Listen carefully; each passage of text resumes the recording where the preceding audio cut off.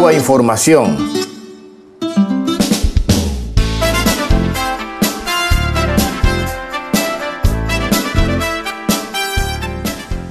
Tras la muerte en Miami de Luis Posada. Miami nil eta gero, mundu osoko prentzan irakurri dugu Luis Posada Carriles Castroren kontrako militantea edotoak kubatar errebesteratua zela.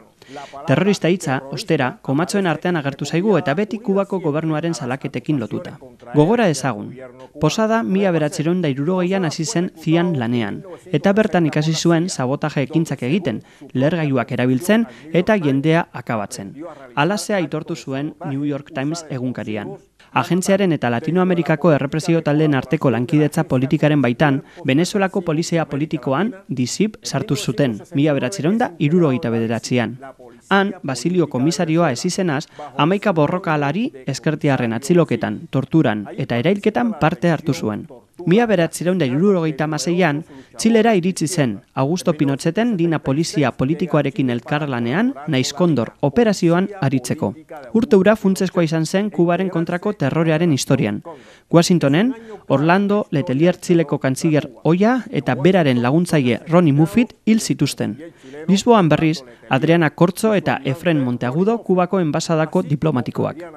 Bombak Kubako interesen kontra baita egazkin konpainien telebistakateen eta Kubarekin loturaren basuten kultura zentroen aurka ere.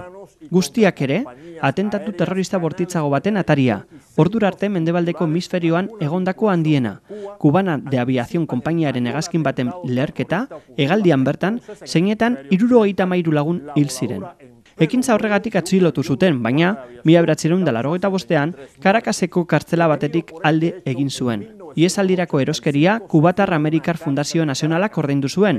Urte batzuk lehenago, Ronald Reagan presidenteak berak sortutako erakundeak, hain zuzen. Ondoren, El Salvadorrera joan zen, eta Nikaraguako kontra babesteko legez kanpoko operazioetan hartu zuen parte. Ekintzaiek, Oliver North teniente koronela kantolatu zituen, Amerikako estatuatuetako erriflearen elkarte nazionalaren egungo presidenteak. Laro eta marreko amarkadan, hainbat atentatu prestatu zituen abanako leku turistikoak astintzeko, eta horietako batean, Fabio Di Zelmo italiarra zendu zen. Fidel Castro garbitzea obsesio bihurtu zitzaion, baina ezin izan zuen lortu. 2000 garren urtean, azkeneko aldiz porrot egin ostean, Panaman atxilotu zuten. Ala baina, 2000 lauan, Mireia Moskoso presidentearen indultua jaso zuen, etxe zuriak ala eskatuta. Posada Carriles, ziaren zerbitzura egondako kriminalik handienetakoa, maiatzaren hogeta iruan hil zen, Amerikako estatu batuetako gobernuaren babesean. Oraindik ere, edabideek disidente esaten diote. Disidente.